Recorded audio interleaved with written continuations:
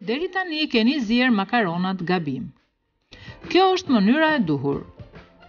Sa duket një mënyrë e thjeshtë, aq është dhe stresuese ndonjëherë. Për zierjen e makaronave të gjithë dinë të njëjtën metodë.